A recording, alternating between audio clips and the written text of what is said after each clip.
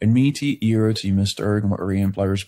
sudau audi S5, kedolek incesitar spre ethers es inhibitoria de repuesto que es.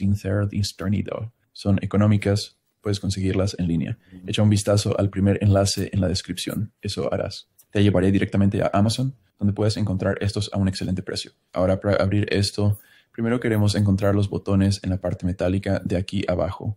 Tienes que mantener ambos botones presionados y sacar la llave interna. Dentro tenemos dos botones más uno a cada lado. Así que una vez más, vamos a mantener ambos presionados y tirar.